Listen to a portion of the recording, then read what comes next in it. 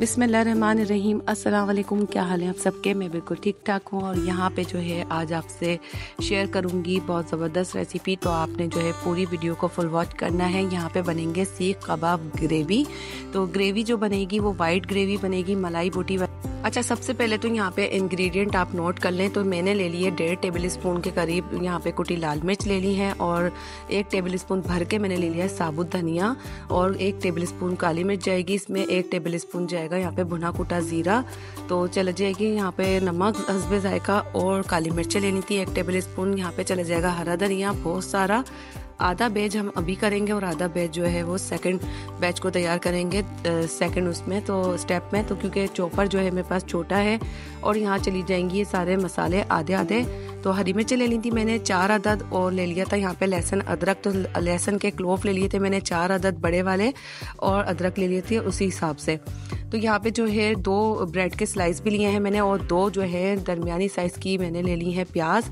आपके पास बड़ी हो तो एक ले लिएगा बड़ी साइज़ की, वरना आप जो है दो प्याज, इस तरीके की दरमियानी साइज़ की जो होती है, ना बड़ी होती है, ना छोटी होती है, आपने उनको ग्रेट करना है। ग्रेट करने के बाद उनका पानी अच्छे से जो है वो निचोड़ के इसके अंदर शामिल करना है ताकि हमारा मसाला जो है वो स्टिकी ना हो, क्योंकि चिकन जो जब हमारी चॉपर में मिन्स हो जाती है ना तो बहुत ज़्यादा स्टिकी हो जाती है।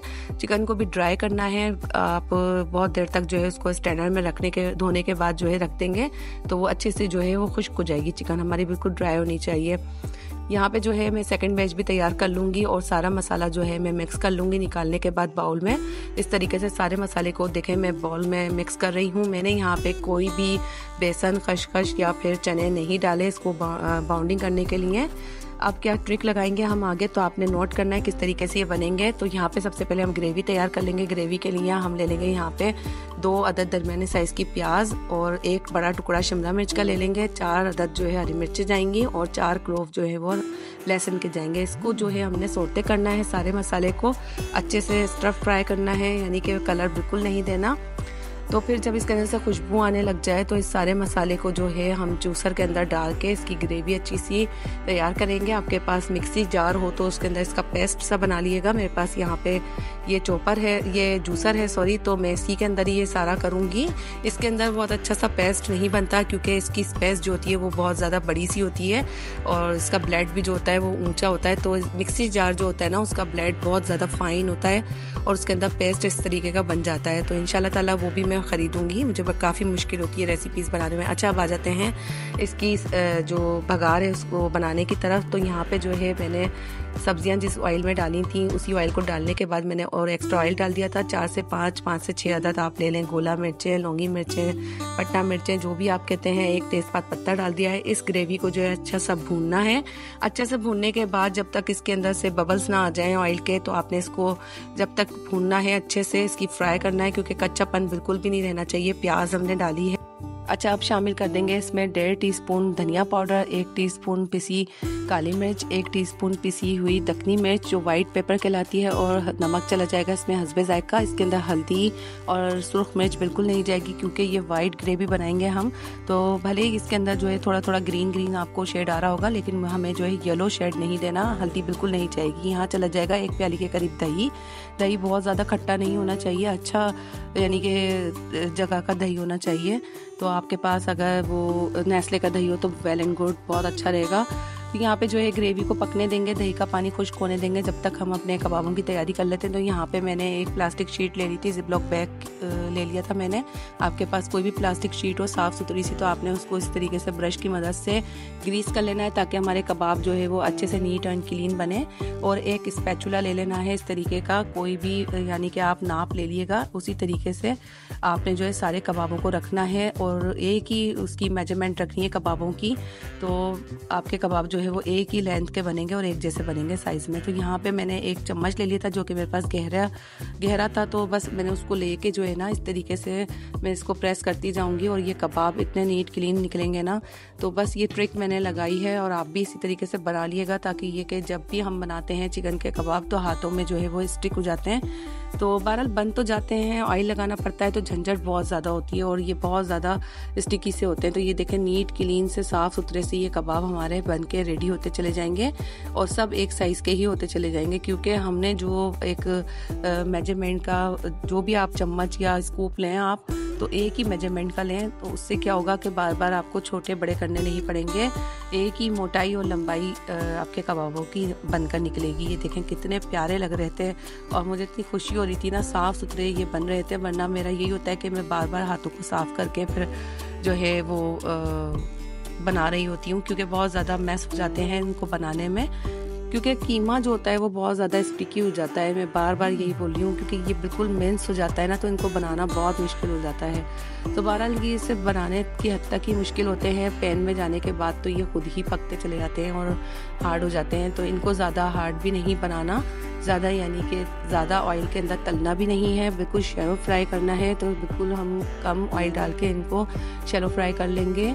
और ज़्यादा जो है इनको कलर भी नहीं देना, क्योंकि फिर ज़्यादा कलर देने से क्या होगा कि ये हार्ड हो जाएँगे। तो बस इनको शेलो फ्राई करके इनको कलर दे के जल्दी जल्दी मैं उतारती जाऊँगी और ये बन भी जल्दी जल्दी गए थे, क्योंकि ये बस जल्दी से पक जाते हैं और इतना कोई टाइम नहीं लगता। फिर ग्रेवी में जाके भी मैं इनको दम पे रखूँगी तो ये उसमें भी जो है थोड़े बहुत डन हो जाएँगे। तो ये देखें कलर आ गया है तो अब हम इनको निकालते जाएँगे और सारे मैं रेडी कर लूँगी यहाँ पर इतनी खुशी हो रही थी, माशाल्लाह से ये इतने प्यारे साफ़ सुथरे से नीट ग्रीन बनते जा रहे थे ना। तो अच्छा ये जो आज ट्रिक मैंने जो इस्तेमाल की थी, ये नौश के किचन में नौश ने सिखाया था। तो थैंक यू सिस्टर ये ट्रिक बताने का बहुत शुक्रिया। तो जिससे भी आप सीखें तो उसका ज़रूर शुक्रिया अदा करें। और कोई भी आपको एक लफ्ज़ भी सिखाता है तो आपका उस्ताद ही होता है, वो आपको मानना चाहिए उसका कि हाँ उसने हमें कुछ सिखाया। और वाकई में ही बहुत बेहतरीन वो यूट्यूबर हैं और बहुत अच्छा सिखाती हैं। तो बस यहाँ पर जो है, मैं उन्हीं की ट्रिक लगा रही थी और मुझे इतनी खुशी हो रही थी ना और मेरे दिल से दुआएँ निकल रही थी कि उन्होंने इतनी ज़बरदस्त कोई ट्रिक बताई है। ये देखें कितने साफ़ सुथरे से ये बनते चले जाएँगे सारे हमारे कबाब। तो मैं सारे रेडी कर लूँगी। 300 ग्राम कीमे के अंदर, माशाल्लाह माशाल्लाह तीन हमारे, माशाल्लाह, से लार्ज साइज़ के ये सीख कबाब बन के रेडी हुए थे। कोई छोटे भी नहीं थे और बहुत ज़्यादा ना मोटे बनाए थे मैंने। जिस तरीके के बाज़ार में मिलते हैं, ये सेम उसी साइज़ के बहुत अच्छे बन गए थे। और इतनी बरकत हो गई थी इनमें, माशाल्लाह, से तो यहाँ पे हमने कुछ खा भी लिए थे ऐसे ही, क्योंकि ये बने थे जब तो बिल्कुल ही औसम लग रहे थे तो हमें खुशबू से रहा ही नहीं गया। तो उसके बाद भी जो बारह कबाब थे, वो हमें इनफ हो गए थे। और यहाँ पे जो है ग्रेवी बहुत अच्छे से बन चुकी है, माशाल्लाह माशाल्लाह अच्छा सा इसका ऑयल आ गया है तो यहाँ मैं डाल दूँगी कसूरी मेथी। एक टेबल स्पून हाथ से इस तरीके से पाउडर बना के आप डालते हैं। शान की नेशनल की किसी भी ब्रांड के आपके पास हो तो। बस साफ़ सुथरी होनी चाहिए, कोई डस्ट वगैरह नहीं होनी चाहिए।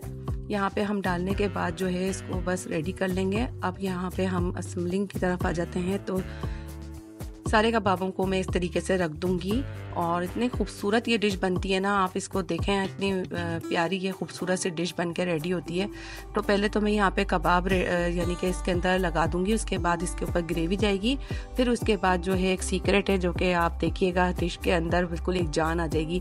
तो यहाँ पे जो है गर्म गर्म गरम ग्रेवी जब मैं इसमें शामिल करूँगी ना तो कबाबों के ऊपर जो कुकिंग प्रोसेस है ना, वो दोबारा से शुरू हो जाएगा। ये देखें, बिल्कुल खोलती हुई ये ग्रेवी इसके ऊपर डाल डालना है, क्योंकि कबाब जो हैं वो मैंने इतने ज़्यादा जो हार्ड नहीं बनाए, थोड़े जूसी से बनाए हैं। और ये बनने के बाद भी बहुत जूसी थे, बिल्कुल सॉफ्ट है मुँह में घुलने वाले कबाब बने थे ये।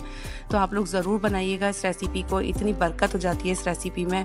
थोड़ा सा मुश्किल टाइम तो लगता है, थोड़ी सी मेहनत लगती है, लेकिन क्या होता है कि उसी उन्हीं चीज़ों को लेके आप थोड़ी सी वेरिएशन करके आप बनाएँ तो खाना घर वालों का आप दिल भी जीत सकते हैं, बच्चों, बच्चे भी खुश हो जाते हैं और हस्बैंड की तो क्या ही बात है, बस हस्बैंड बहुत खुश हो जाते हैं। तो क्योंकि हस्बैंड को यही चाहिए होता है रोज़ाना खाना तो वही होता है, लेकिन क्या होता है, आप उसको शक्ल चेंज कर, करके बना दें, फ्लेवर थोड़ा चेंज कर कर बना दें। वही चिकन थी 300 ग्राम जो डेली की बनती है और थोड़ी सी वेजिटेबल्स और थोड़ी सी मेहनत लगा के मैंने ये डिश तैयार कर ली थी। तो इतना कोई रॉकेट साइंस नहीं है, वही जो कौरमा वगैरह में दही डलता है, मैंने वही चीज़ें यूज़ करी हैं। घर की ही बलाई यूज़ करी है, मैंने कोई टेट्रा पैक का खर्चा भी नहीं किया। तो इतनी एक्सपेंसिव ये एक तो डिश नहीं पड़ी, मुझे बहुत अच्छी मैंने यहाँ पे ये डिश बना ली थी, ऑन बजट रह के तो आप भी अभी बना लिएगा और कोयले की दे दी थी। और आप लोगों ने अभी तक मेरे चैनल को अगर सब्सक्राइब नहीं किया है तो आप जल्दी से पहले तो नए आने वाले मेरे चैनल को सब्सक्राइब कर लीजिए, बेल का बटन प्रेस कर लीजिए, ताकि आइंदा आने वाली तमाम नोटिफिकेशन आपके मोबाइल में आ जाए। और अगर आप नए नए खाने खाना चाहते हैं और रोज रोज के वही बोरिंग खाने खा के बोर हो गए तो keep watching Sania Amit blog जिसमें आपको रोज़मर्रा उन्हीं रेसिपीज़ से नए नए खानों के आइडियाज़ और नई नई रेसिपीज़ सीखने को मिलेंगी और माउथ वाटरिंग आप लोग अपने घर वालों के लिए खाना बना सकते हैं। उन्हीं इंग्रेडिएंट ऑन बजट रहते हुए। तो सस्ते बजट में आप लोग जो है अच्छे खाने बनाइए और सानिया हामिद व्लॉग वॉच करते रहिए। तो यहीं पर ही व्लॉग को एंड करते हैं। अपने और अपने प्यारों का खास ख्याल रखिएगा और मुझे भी दुआओं में ज़रूर याद रखिएगा। तो मिलेंगे कल तक, जब तक के लिए अल्लाह हाफिज़। जी बाय बाय